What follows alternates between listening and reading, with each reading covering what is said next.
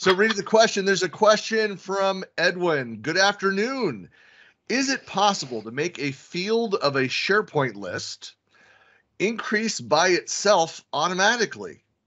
Uh, for example, uh, the product underscore code field is created only when entering new products. It's an interesting question, and I, I suppose it it depends. what? Classic answer. Ah, the famous answer. Do we just So- start off every SharePoint issue, every every AMA with like, well, it depends. It Why depends. that depends. So, if you are trying to change the field width dynamically, well, the out of the box SharePoint experience is not going to do that. But if you supplement that with something like column formatting, especially some of those custom JSON examples you can get on the Microsoft GitHub repository, then you can dynamically grow as the string grows. And that's the column width, but you may not be asking that. Maybe you're talking about padding numbers you know, and, and adding zeros before and after to try and make a a business type value number. Well, you could use other things like uh, a calculated column or perhaps even uh, uh, Power Automate. What do you think, Sharon?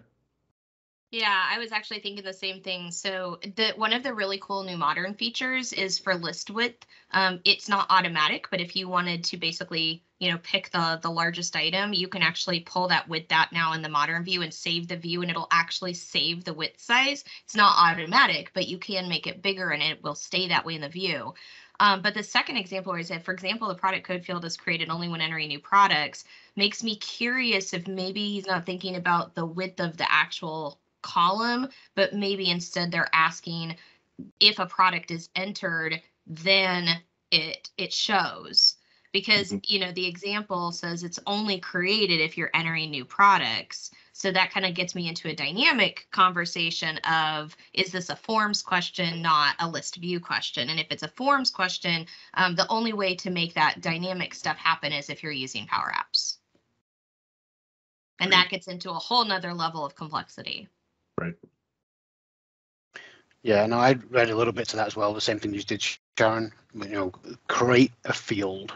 In thinking, I'm going to use the term classic, but I'm not necessarily talking classic SharePoint.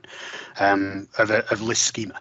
Are they talking about modifying the list schema at all? Which is, you know, going to be a really difficult thing to try and achieve in in that kind of experience where you just, you know, you type the code in, and the schema changes.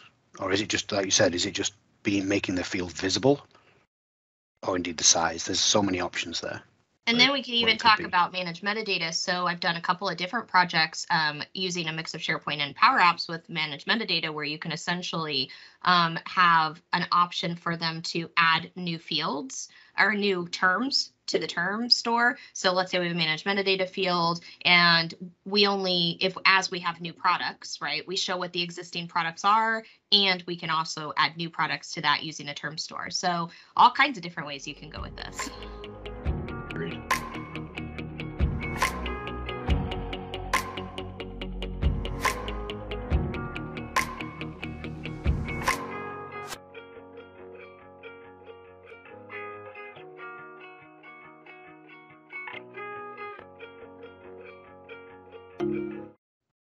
And I know um, uh, Mike just the other day was uh, tell me about uh, some some fantastic thoughts that he had on the SharePoint platform. So